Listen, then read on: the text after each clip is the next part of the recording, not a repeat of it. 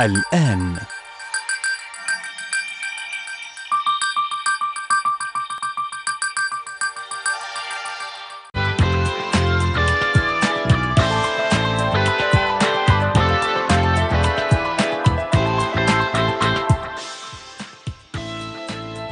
يا صباح الخير والسعادة على حضراتكم. صباح جديد وحلقة جديدة من برنامجكم صباح مي حلقة النهاردة حلقة نهاية الأسبوع يوم الخميس بتاريخ 13 8 2020 يا رب النهاردة يكون يوم جميل على حضراتكم مليان دايما بالإيجابية والنشاط والحيوية آه، خليني أذكر حضراتكم بفقراتنا زي ما إحنا متعودين بنبدأ دايما بفقرتنا الإخبارية اللي بنتابع فيها أو هنتابع فيها النهارده نشاط الرئيس عبد الفتاح السيسي بالأمس وأيضا نشاط آه، رئيس الحكومة واجتماع الحكومة بالأمس والدكتور آه، اجتماع دكتور مصطفى مدبولي مع عدد من الوزراء.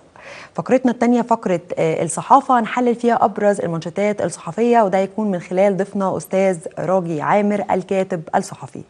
فقرتنا الحوارية والأخيرة النهارده هنتكلم فيها عن يمكن كلنا سمعنا عن المبادرات اللي آه، أصدرها البنك المركزي وده لتمويل الشركات والمنشآت الصغيرة وأيضا آه، المتناهيه الصغر وده من خلالها بيتيح مبالغ محددة للبنوك بتستخدمها في منح تسهيلات ائتمانية لأصحاب هذه المشاريع.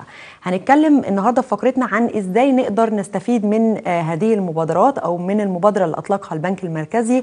وأيضا هنتكلم عن ال- الأنشطة والمستندات المطلوبة علشان نقدر نقدم بيها في هذه المبادرة. ده هيكون من خلال ضيفنا اللي هيشرفنا النهارده في الاستوديو أستاذ جمال أو أستاذ عفوا أستاذ مينا آه، جمال سدراك المحاسب القانوني وخبير الضرائب وعضو جمعية الضرائب المصرية. هنتكلم أكتر بشكل تفصيلي مع أستاذ مينا عن آه، إزاي نقدر نستفيد من هذه المبادرة.